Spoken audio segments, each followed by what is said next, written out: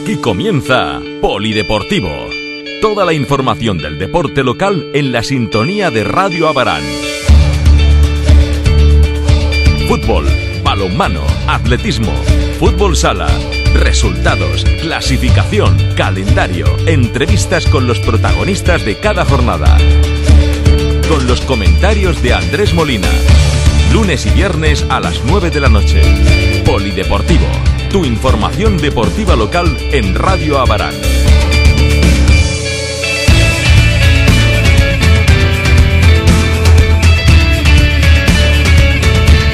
Muy buenas noches, señoras, señores. Comenzamos aquí Polideportivo en este lunes 4 de febrero, después de un fin de semana en el que las inclemencias meteorológicas han sido noticia, el viento que obligó a suspender el pasado sábado el que era el gran partido de la jornada entre Abarán y el Palmar en territorial preferente. Hoy, como ya les anunciamos la pasada semana, vamos a hablar de nuestras bases. Vamos a hablar con un invitado habitual en este programa, además en un día muy especial, porque en este 4 de febrero, permítanme, cumplen años dos personas, dos personas muy importantes. Una, mi padre, casi nada, ahí está con sus 92, un auténtico aficionado al fútbol de toda la vida. Quizá él eh, fue quien me inyectó en vena ese, ese, amor por, por el deporte. Y por otra parte, una persona también familiar que además ha sido colaborador de este programa durante muchos años, Jesús David Hielo, a quien desde aquí felicitamos igualmente. Y con ello, pues vamos a comenzar porque indudablemente hay que hablar de fútbol.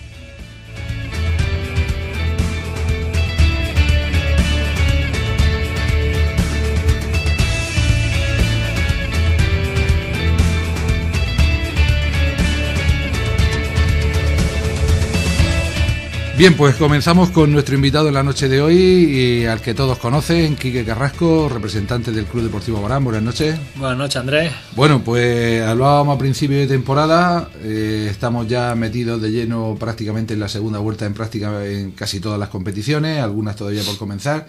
Pero bueno, lógicamente a partir de ahora parece que mm, conforme van creciendo los días, parece que vamos viendo cómo se acerca el final de la competición, aunque todavía quede mucho. Esto siempre así, cuando llega el Ecuador ya vemos más cerca eh, la parte final de la temporada y planificación de la siguiente. Y nada, pues un año más llegamos a este punto, muy contentos, eh, salvando pues todos los escollos que surgen y todas las problemáticas que, que conlleva pues gestionar un club y más de fútbol base y ya está, intentando hacerlo de la forma más coherente posible, lo más correcto, siempre siguiendo la misma línea que hemos llevado desde el principio, eh, lo más formal que, sabemos y que, y que, nos podemos permitir. Y ya está, abierto siempre a, a dos tipos de debates, a discutir siempre de forma argumentada eh, cualquier tipo de situación adversa que ha surgido y, y decisiones que se han tenido que tomar y que se siguen tomando, positivas y negativas, pues siempre las negativas cuestan más y, mientras mantengamos una justificación y una coherencia en eso, pues creo que a esta altura de temporada es para estar satisfechos y contentos de lo que ya hemos realizado. Antes de hablar puramente de lo deportivo, de los resultados, de lo que ha sido la jornada, pues precisamente hay varios temas que, mm, bueno, que hay que tratar. Eh, de una parte, eh, esa guerra, entre comillas, que tenéis que, que sobrellevar cada temporada con los familiares, con los padres, con los propios chavales. Eh, esta temporada eh, he podido observar en varios partidos que iban los equipos prácticamente justos, que había muchas faltas, no sé si es cuestión de sanción del club, si es cuestión de, castigo de los propios padres, eh, no sé cómo... cómo, cómo... nosotros a nivel, a nivel interno no hemos tenido que tomar ninguna medida mm, disciplinaria desmesuradas. Son más cuestiones personales, ¿no? O, familiares de, los chavales. Lesiones hemos tenido bastante en la última en el último mes y medio, sanciones también. Luego los equipos cadetes, por ejemplo, pues nos vimos condicionados al principio de año para que nadie se quedara fuera de hacer dos equipos con la, la plantilla justa de 15 componentes. Eh, y luego pues nos vimos obligados por una serie de, situaciones en varios equipos a, tomamos la decisión de no incorporar a nadie más por, por diversas cuestiones que nosotros eh, pensamos que era, que era lo más coherente y lo más correcto desde la planificación que hicimos a principios de año, eh, velando siempre por lo que pensamos que es mejor para el club, pero no siendo esto, eh, no siendo esto condición para que el año que viene, respecto a estas decisiones que se han tomado, son solo puntuales y temporales y, a la hora de planificar la temporada del año que viene, pues partimos de cero, claro. En ese aspecto, esta temporada eh, se ha producido de nuevo algo que, bueno, esto ya es histórico. Yo recuerdo cuando tú eras quizá infantil, cuando Paco Peinado era presidente, el problema de, los chavales, que los padres, que quizá oyen los cantos de sirena de otros clubes, eh, que se marchan, que luego vuelven. Siempre pasa. Van, van buscando una, una, formación mejor, es lícito, es, su decisión, y, yo nunca, y sabes que siempre lo defiendo, nunca me meto, ni me voy a meter en sus decisiones, ni voy a obligar ni forzar a nadie, puesto que yo estoy aquí de forma altruista y gestionando algo que, se quedó huérfano y que lo llevamos de la forma más decente y, más formal posible, ¿no? Eh, entonces, lo que sí que tenemos claro es que uno tiene que ser consecuente con las decisiones que lleva a cabo en este sentido por parte de la familia y, no puede luego intentar eh, eh, echar esa responsabilidad a los que estamos dentro del club y los que tuvimos ciertas dificultades en agosto y en julio para conformar algunos equipos y, nadie piensa en eso en ese momento. nadie piensa en eso. Entonces luego cuando llega a mitad de temporada y por cuestiones que yo ni entro ni no entro y en distintas situaciones y casos, pues deciden que quizás pues, es un error o no están conformes con lo que sea y, y, ven que no es tan bueno lo que se le ofrece fuera como lo que al principio le venden y ya está. Simplemente nosotros somos consecuentes con las decisiones, con las opiniones y, con todo lo que lleva la gestión del club y pedimos solo que el resto también lo sea, puesto que yo no estoy aquí por ningún beneficio personal. O sea, yo simplemente estoy aquí por coherencia, por criterio y por sentido de responsabilidad.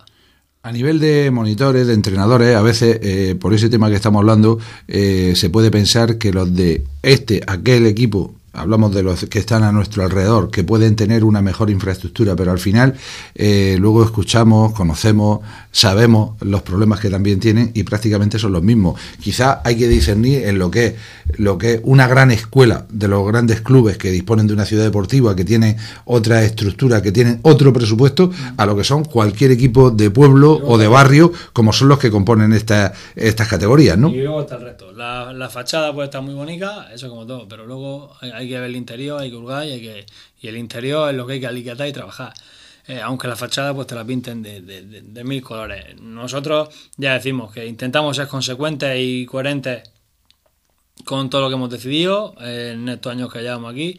Decisiones que ahora para todos los gustos, erróneas, no erróneas, pero que luego seguro que con el tiempo, cuando se madura, eh, pues todo el mundo ve, un ápice de luz en esa decisión y, aunque en ese momento no, no sea lo que él piensa que es lo correcto o lo que, es justo, al cabo del tiempo, de los meses, se da cuenta de que quizá para la formación de, un chaval, ¿no? También es necesario que se le haga ver no solo a familiares, sino también a chavales que hay que ser coherente y, riguroso en ciertas cuestiones o consecuente con y que si viene la hora de dar el salto pues siempre siempre puede llegar no siempre está si nosotros eh, lo mismo en el X que en el Abraham. Pues eh, exactamente, si tienes que dar todo lo va a dar. Y nosotros velamos por mantener una estructura seria, eh, donde pues en cierta parte también se nos respete, puesto que esto no puede ser un, toma y dame cuando... Sobre todo por los propios compañeros. exactamente, no, no, no, no puedes dar esa imagen, entonces... Porque si hay un chaval trabajando desde agosto con toda la ilusión del mundo, luego no puede verse perjudicado, ¿no? Por, por, alguna decisión. Este exactamente, no, no, o, simplemente por el hecho que si se dan situaciones incómodas y hay siete u ocho futbolistas que han decidido salir en agosto con total libertad, irse a otro club buscando una mejor formación, mejor, pues, según su perspectiva, lo, lo, que ellos consideren, ¿no? Luego, la imagen que da el club, si, si empieza, vale, pues vete, pero luego si no estás contento a los X meses, vuelve. Entonces, claro, eh, nosotros empezaríamos todos los meses de julio y agosto con menos 12 o 15 críos que van, pues como luego puedo venir, me voy a probar otro sitio, claro, ya empieza el club desestructurado. Además, por la propia educación de los chavales, la educación deportiva, pienso yo que, que no debe ser tampoco, que no debe creer, que ningún chaval debe de pensar hacia sí mismo que él es superior, que él es la estrella de cualquier equipo. Y así lo intentamos que sea. Y nosotros, si algo no queremos transmitir eso y, no y, lo que no buscamos es hacer sentir a nadie de esa forma, ni, ni por arriba ni por, abajo. por, supuesto. Eh, Quique, hace un par de semanas estuvo aquí con nosotros Emilio Bru como representante de la Barán y comentaba que, bueno, que la intención de la Barán Club de Fútbol es ampliar sus miras, ampliar equipos. Nos habló de la práctica, mm, con práctica eh, seguridad, de que el próximo año se iba a constituir un equipo femenino, lo que es sin duda una gran noticia para el deporte femenino local. Eh, se habló de incorporar de nuevo algún equipo de fútbol sala y hablando de los equipos de base, eh, nos comentaba aquí pues la posibilidad de que hubiera algunas conversaciones con vosotros, con el Club Deportivo Barán, algún acercamiento, alguna forma de que deportivamente se, se, acercaran los caminos. Eh, incluso comentó que de no ser así, pues que ellos tenían pensado incluso de, de aumentar también el número de equipos de fútbol base. Desde vuestro punto de vista, ¿cómo está esta situación? Yo, desde nuestro punto de vista, sigue siendo lo mismo que al principio. Eh, respecto al ámbito personal, no tenemos ninguno de nosotros nada con ninguno de los de, los que gestionan el, senior, ¿no? Eh, de hecho, de hecho varios monitores, varios monitores del club son jugadores de la Barán, Y le, hemos seguido cediendo la filialidad del equipo juvenil, seguimos siendo el filial. Eh, situación la cual sí que estamos ciertamente incomodados con, con, ciertas decisiones que se han llevado con ellos, puesto que no se ha contado para nada con el juvenil, eso sí que lo decimos abiertamente. Ni el año pasado, cuando tuvieron oportunidad en el amistoso del, del Lorca, no se acordaron del juvenil, se acordaron de, de jugadores de la olla del campo.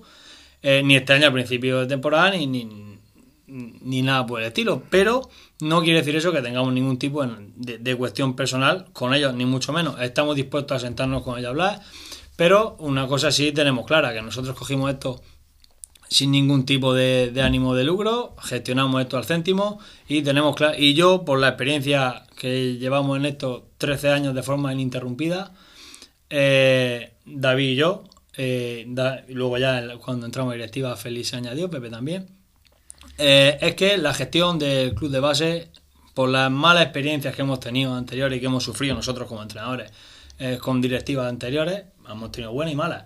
Pero al final, cuando se mezcla el deporte de base con un equipo senior y no sé si qué tipo de interés hay por medio, siempre surgen cosas, es más complicado todo. Nosotros, nuestra perspectiva es que la gestión del un, eh, club de base debe ser ajena para que los zagales pues reciban. Nosotros la contabilidad la llevamos al céntimo, no tenemos ni una deuda de proveedores, de materiales van los zagales eh, equipados hasta arriba, licencias con la federación, ningún tipo de duda tampoco, arbitraje.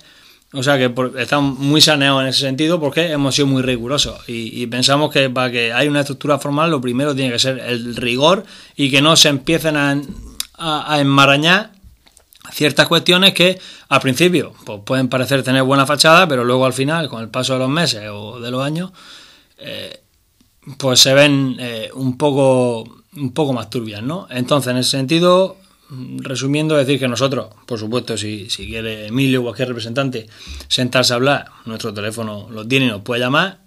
Y eh, respecto al ámbito personal, por supuesto que seguimos teniendo una estupenda amistad, pero sí que quizá pues la, visión que él tiene de fútbol base o, que su junta directiva tiene, junto con la que junto con la nuestra, pues quizás sí que un poco choca. Eh, por lo que te digo, porque pensamos que es incompatible siendo filiales juvenil del equipo senior a día de hoy. O sea, somos filiales y nadie nos ha llamado.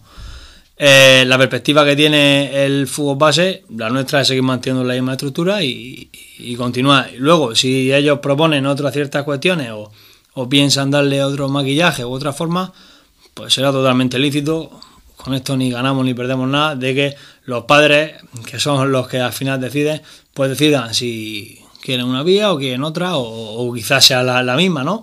Pero que nosotros estamos más que nada por sentido de responsabilidad, de que era de que se quedaba huérfano el fútbol base, cuando lo cogimos David y yo.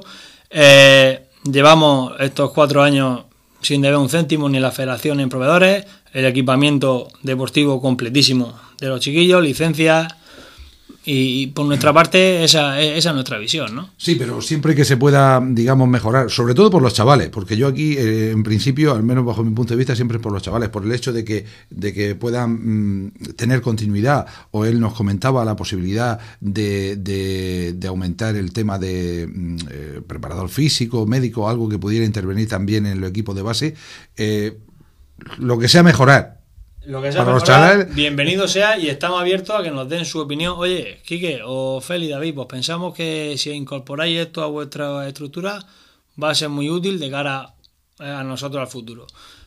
Sobre todo pensando en los chavales, que es lo que debe ser la base de... Nosotros estamos aquí para eso y por eso mismo pensamos que debe estar la gestión, la, la gestión bu- Independiente. bu- burocrática e independiente. Y eso lo sigo manteniendo. La gestión burocrática debe ser independiente. Si no, al final hemos conseguido ser un equipo y un, club sostenible gracias a la seriedad que hemos tenido con eso. Y la formalidad, que nos ha costado nuestro mareo de cabeza. Pero si volvemos a lo de antes, que también, antes recordamos también que se vendieron por, se vendieron por muchos pisos.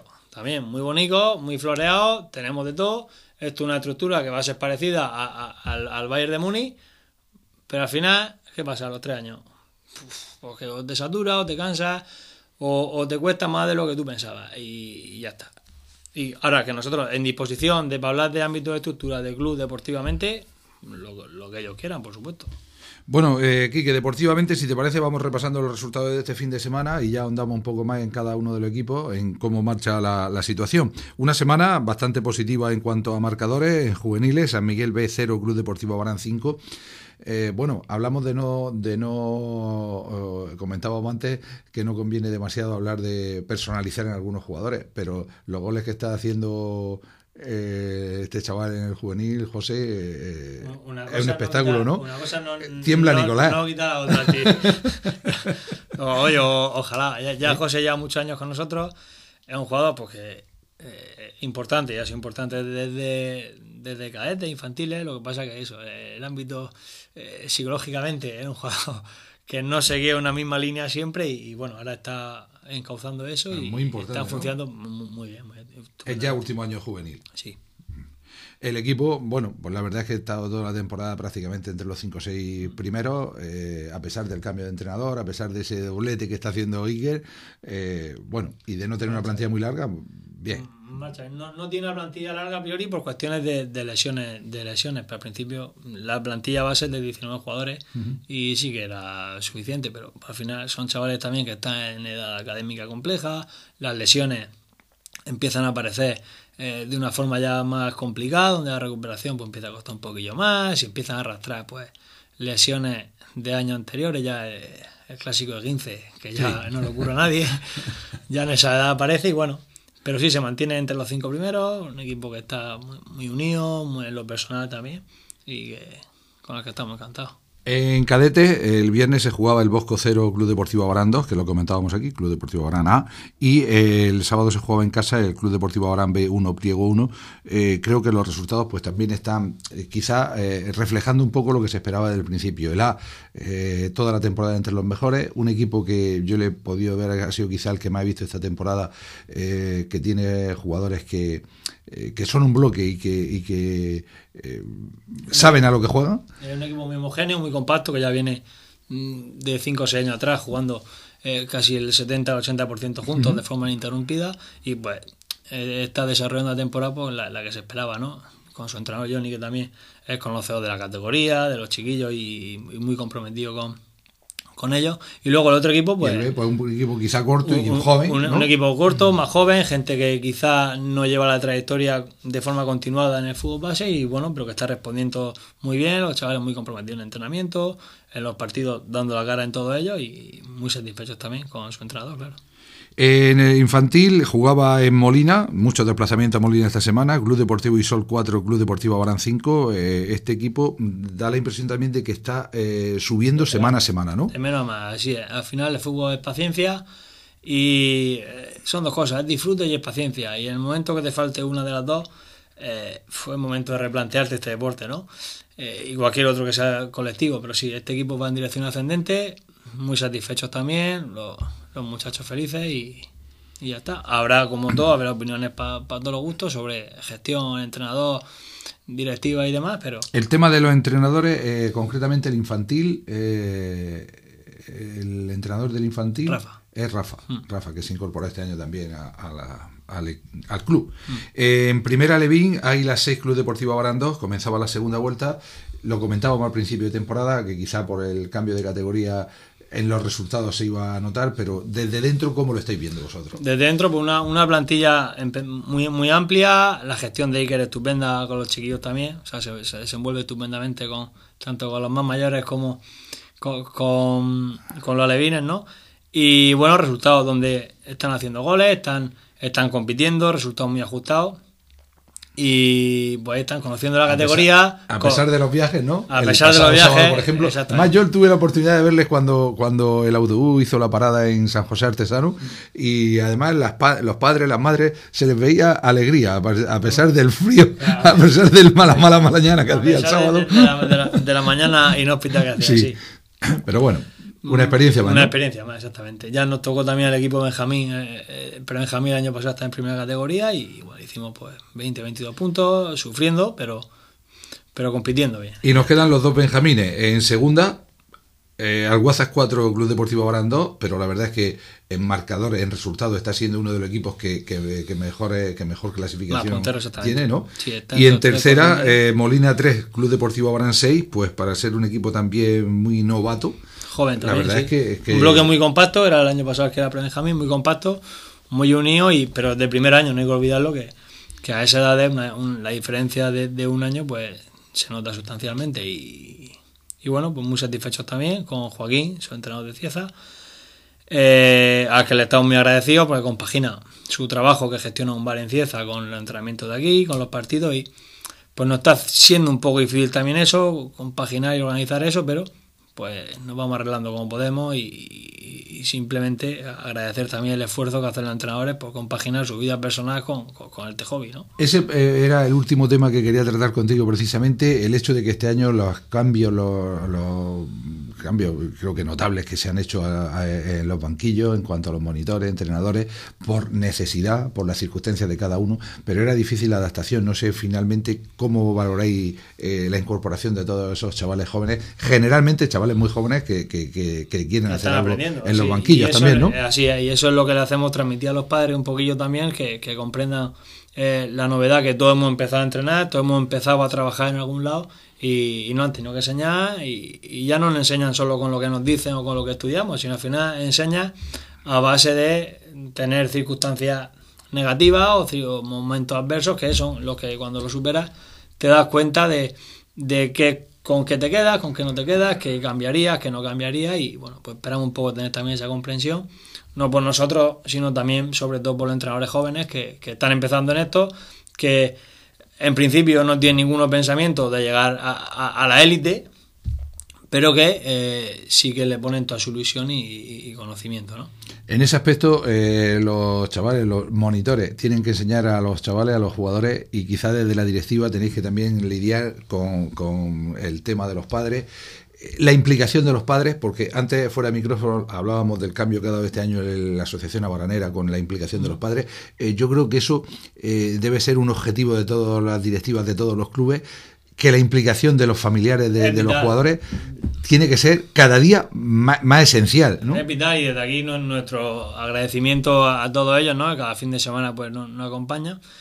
Y, sí que, por supuesto, eh, vamos, es algo totalmente necesario e imprescindible, porque sin ello eh, entendemos que en ocasiones pues no le guste cómo, cómo se ha encauzado una cosa, cómo qué decisión se ha tomado, y lo comprendemos y estamos aquí para... Siempre se puede hablar. Y siempre, por supuesto, y estamos aquí pues, para asumir y escuchar decisiones u opiniones, mejor dicho, negativas y positivas, que sí es verdad que son las que menos. Cuando las cosas salen bien, no, las positivas, cuando las cosas salen bien nadie te reconoce, ni esperamos que lo hagan, pero pero que las negativas sí que somos más de, resaltar cuando algo es malo, cuando algo no va bien. Pero es imprescindible que entiendan eso, la segunda parte de eso, que no es solo jugar al fútbol, que no es solo hacer deporte, sino también... Es necesario, si no eh, un deporte colectivo, si no un deporte colectivo con el fútbol deja de carece, carece Las virtudes que no se ven quizá desde, desde, fuera, ¿no? Deja de, tener sentido. Sí que es cierto que yo me he visto en lo personal, eh, y mira que es complicado, pero ciertamente me he visto desilusionado en cierto momento este año. Una vez me dijiste que viniera antes de Navidad, antes de Navidad y te dije que no me encontraba bien psicológicamente, ni, me encontraba con ánimo ni motivado para sacar de aquí una conversación positiva. Ya repusimos fuerza en Navidad, e intenté apartar un poco mi vida personal y, académica y profesional de, de, este hobby, ¿no? Y ya me he recompuesto un poco y estamos de nuevo con las pilas recargadas. Y eso, pero que, que es verdad que estamos siempre, eh, somos un poco propensos a destacar lo, negativo y, al fin y al cabo los que estamos detrás de esto somos personas que, que tomamos decisiones y, y, las decisiones pues a veces duelen más, a veces duelen menos y pero siempre lo hacemos velando por la formación de los chiquillos y porque se mantenga una estructura lo más coherente posible dentro del club.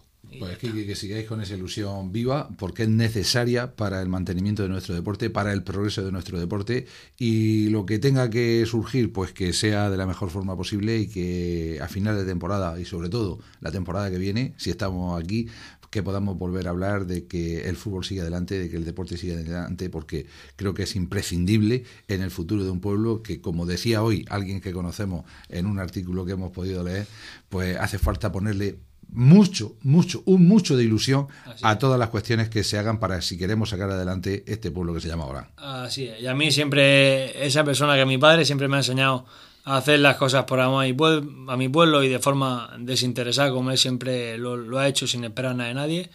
Eh, esperemos seguir aquí el año que viene y como siempre digo, yo no vengo aquí a defender eh, a capa y espada el fútbol base, yo vengo aquí a defender el deporte de base y que, como siempre digo, yo este año el balonmano, por ejemplo, la, como hemos comentado anteriormente, a mí, mm, vamos, me llena de orgullo ver que de nuevo el balonmano eh, empieza a retomar, que se, se delegan las funciones eh, en otras personas que era necesario también. Muchísimas más personas que... Exactamente, la, la logística fundamental. Y yo ver el polideportivo lleno de, de, chavales y de padres alegres y de. Es una auténtica gozada. Eh, un sábado. un sábado... Me gusta. A mí me da igual que sea mi club si, o que no sea mi club. Yo defiendo, mi, defiendo una estructura de club, una gestión de club, pero que no compito con nadie, ni contra nadie, ni yo, ni mi club. No, ni, ni competimos, ni lo, vamos, ni lo hacemos, ni lo vamos a hacer. O sea, no vamos a intentar vender una cosa mejor que otra, que, por, por, qué no en otro estilo? ¿no? Aquí estamos. Tampoco estamos para eso. bueno, Kiki, muchas gracias por estar esta noche con nosotros una vez más y hasta la próxima. A ti, Andrés, un placer.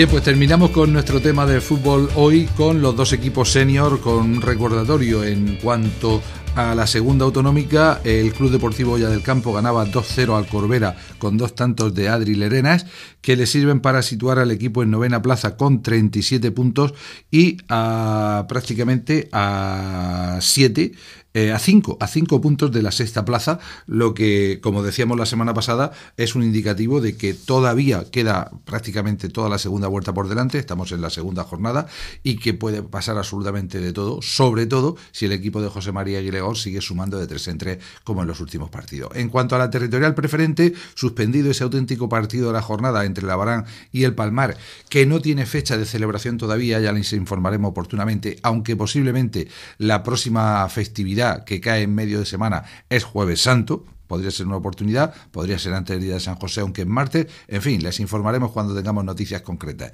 Los resultados de esta jornada: Racing Murcia 4, Esparragal 0, Balsica 2, Juvenia 2, Beniel 1, Val Azul 3.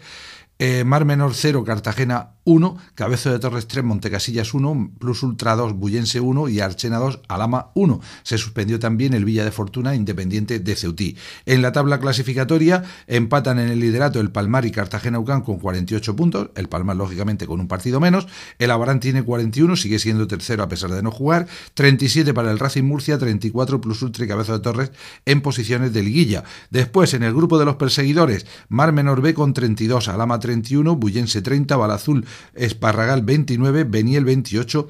En la zona de los equipos que están luchando por evitar el descenso, Archena con 20, Montecasillas 19, Villa de Fortuna 17 con un partido menos. Los tres últimos puestos, los que hoy darían el descenso, Balsicas con 16, Juvenia 16, Independiente de Ceutí con 9. Polideportivo, tu información deportiva local en Radio Abarán.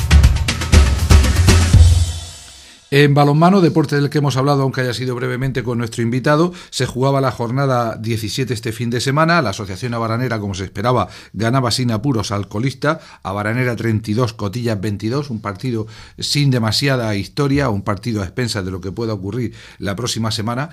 En principio, la Asociación Abaranera tiene que jugar dos partidos contra Águilas, el partido aplazado, según la web de la Federación, sábado, día 9, 6 de la tarde, tendría que jugar también el partido correspondiente a la siguiente jornada ante Puerto Lumbreras, que sería para el domingo, pero cuidado, que esta tarde hemos podido ver en la página web de la Federación Murciana que el choque entre Ademur y Águilas, previsto para la próxima jornada, para la jornada 18, está señalado para el sábado a las seis y media de la tarde. Por lo tanto, sería totalmente imposible que se juegue ese partido a las seis y media y a las seis el partido de Abarán frente al cuadro aguileño, que este fin de semana ganaba por la mínima a sus vecinos de Lorca, Águilas 20, Leocroca 19, Jumilla en un partido intrascendente ganaba 34-33 a San Lorenzo B, eh, descansaba UCAM Murcia, Puerto Lumbreras ganaba 29-20 a Bullense e indudablemente en el partido más trascendente de la jornada, victoria para el equipo que actuaba como local, Cartagena 29, Ademur 28, con lo que el equipo que dirige Monre sale de momento de las cuatro primeras posiciones. Esperemos a ver lo que ocurre con los partidos pendientes. Todavía el Heliocroca de Mur de la cuarta jornada. El pasado sábado hablábamos con el árbitro del partido y nos comentaba lo mismo que nosotros hemos dicho en estos micrófonos varias veces, que no es de recibo que ese partido esté por disputar. De hecho, ya Heliocroca no se juega nada y no se va a disputar el partido hasta el día 22 de este mes. Queda por disputar también de la jornada 13 un Cartagena-San Lorenzo importantísimo para el equipo de la ciudad portuaria y quedan pendientes los dos partidos de la pasada jornada. El duelo de colistas entre Bullense y Cotilla y ese Baranera Águilas que aunque tenía fecha prevista, veremos a ver cuándo se juega. La tabla clasificatoria, líder Asociación Abaranera 26, segundo Águilas 26, estos con un partido más, UCAM Murcia tiene 22 puntos, Cartagena 20 puntos, quinto es ahora de Mur con 19, pero con un partido menos, es decir, los mismos que tiene la Asociación Abaranera. Puerto Lumbreras es sexto con 14, ya no se juega nada, el yo creo que a séptimo con 13 ya no se juega nada, por tanto, los partidos que haya que jugar a partir de ahora ya no tendrán ni mucho menos la misma trascendencia. Y en cuanto a las categorías femeninas, se jugaban cuatro partidos en casa el pasado fin de semana con estos marcadores. En categoría juvenil, Abaranera 26, Bullense 18, importantísima la victoria del equipo de Abarán que prácticamente asegura la primera plaza, todos los partidos los cuenta por victorias, su rival solamente ha perdido precisamente los dos enfrentamientos ante el cuadro que dirige Pepe Carayol, en categoría cadete, Baranera 23, San Lorenzo 14. También muy importante este triunfo que les acerca eh, a poder disputar la liguilla final, estar entre los cuatro primeros. Y en cambio, derrotas en los dos equipos más jóvenes. En infantiles, Baranera 16, San Lorenzo 25. Y en alevines, Baranera 10, San Lorenzo 23. Toda la información del deporte local en la sintonía de Radio Abarán. En fútbol sala este fin de semana, cal y arena para los equipos en los que hay representación abaranera. En tercera división, el Palmar 7, Cieza 0. Nada pudo hacer el equipo en que militan Alex y, e Iván Lerenas. En división de honor juvenil, importantísima la victoria del Club Deportivo Murcia a domicilio en el pabellón de madera Nueva Elda 2, Club Deportivo Murcia 6, con lo que sigue siendo líder. En un próximo programa eh, repasaremos con detenimiento la situación de esta categoría, de esta división de honor, donde Molina perdía en casa por la mínima 4 5 frente a Cartagena. Y en segunda división, en Liga Nacional de Fútbol Sala, Santiago Futsal 4, Noya 0, eh, victoria importante para el equipo de, de, Jorge Montiel, que ya prácticamente se ha alejado definitivamente de los puestos bajos y que todavía puede aspirar por los de promoción de ascenso. Para terminar, una noticia que ya han adelantado mis compañeros a lo largo del día de hoy, también en la página web, y es que en atletismo, como viene siendo habitual, Amanda Cano, Amanda Cano se proclamaba campeona regional de 5 kilómetros en pista el pasado sábado en Lorca con un tiempo oficioso de 23.06. Sigue siendo, insisto, habitual sus éxitos a nivel regional, incluso a nivel nacional, pero como ya les adelantábamos esta mañana, estamos pendientes de tener una charla con ella para que nos hable de todos los objetivos que quedan por dilucidar en esta temporada. Por nuestra parte, nada más, ha sido un placer como siempre estar con todos ustedes en este 4 de febrero y ya saben, eh, toda la semana para los deportistas para trabajar y nosotros para preparar lo que será la, la siguiente edición de Polideportivo, el próximo viernes con otra jornada a la vuelta de la esquina. Gracias como siempre por su atención, feliz semana y hasta el viernes.